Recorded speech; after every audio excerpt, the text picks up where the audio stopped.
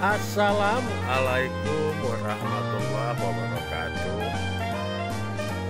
Di sore hari ini Lambe Akeh akan melaksanakan tutorial Pembuatan Singkong sambung atau singkong mukibat Dengan cara yang sangat praktis.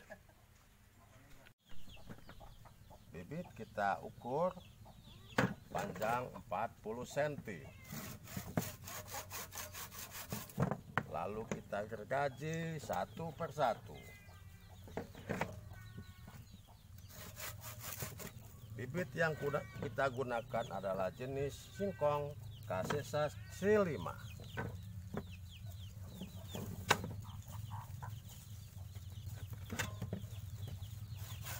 ratakan dulu bagian bawahnya. Itu kita ukur 40 cm ini adalah calon bagian batang bawah yang akan menghasilkan umbi.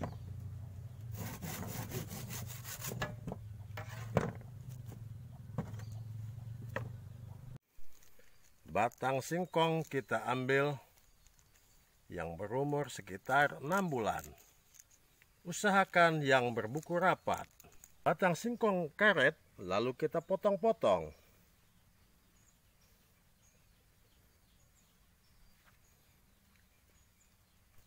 pertama-tama batang singkong kita runcingkan. Nah kita ratakan. Nah, usahakan serata mungkin.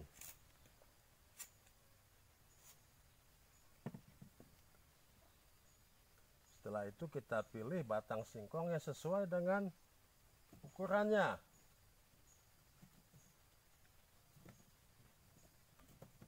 nah yang sebesar, sebesar ini juga. Ingat titik-titik mata harus menghadap ke atas. Sebab ini calon umbi. Selanjutnya kita buat pen.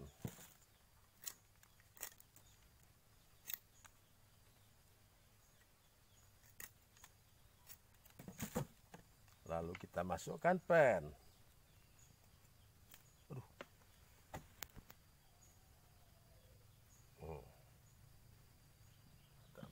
masukkan batang singkong yang telah kita runcingkan tadi.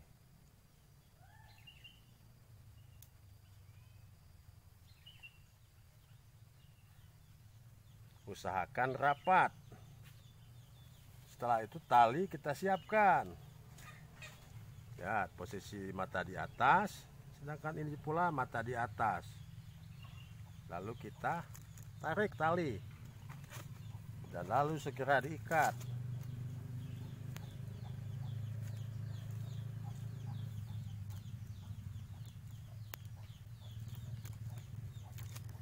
Ini plastik yang kita gunakan plastik es cap nanas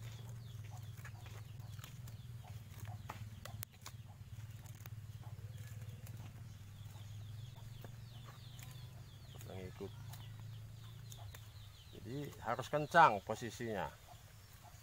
Nah.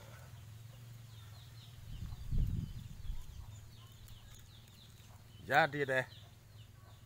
Nah.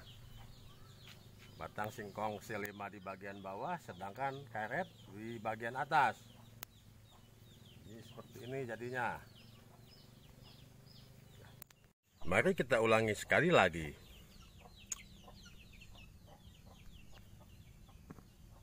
Pilih batang bawah yang paling bagus.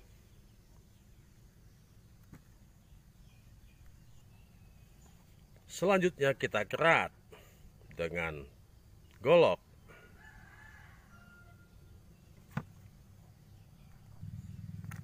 Pilih singkong karet atau bagian sambungan atas yang seukuran lalu kita kerat juga dengan posisi mata menghadap ke atas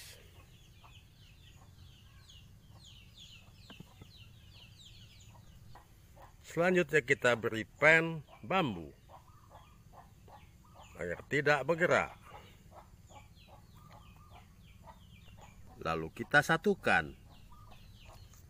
Selanjutnya kita ikat. Pengikatan harap rapat. Jangan sampai udara masuk.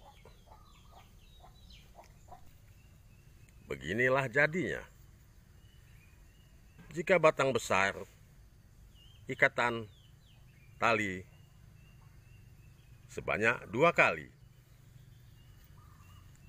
Bisa uh, jika batang kecil, maka cukup satu tali untuk mengikatnya.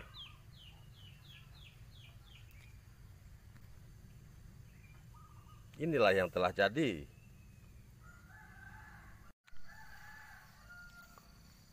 Lanjut ke pengolahan tanah.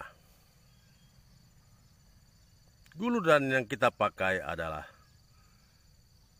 guludan yang besar, lingkaran 80 sampai 90 cm dengan posisi tanah kita gulut. Areal ini kita tumpang sarikan dengan kelapa beserta labu walu.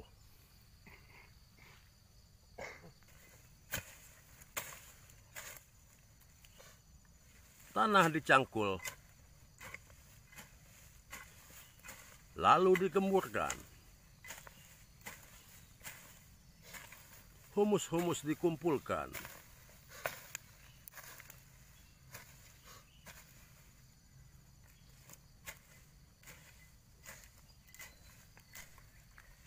membentuk guludan.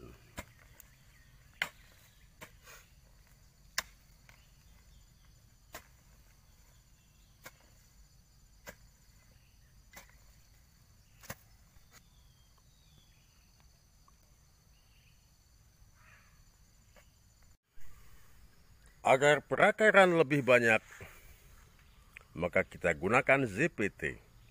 ZPT yang kita gunakan adalah ZPT organik. Lalu kita rendam.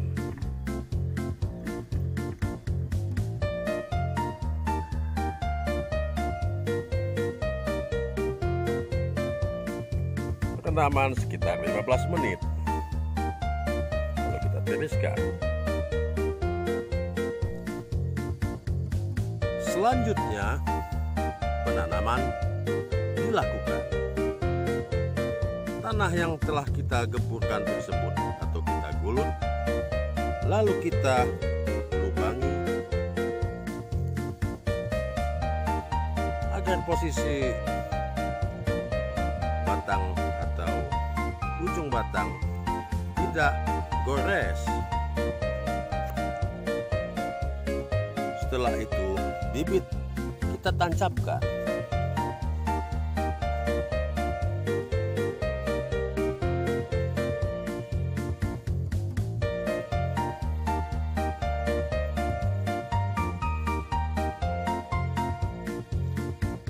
Satu persatu bibit kita tancapkan.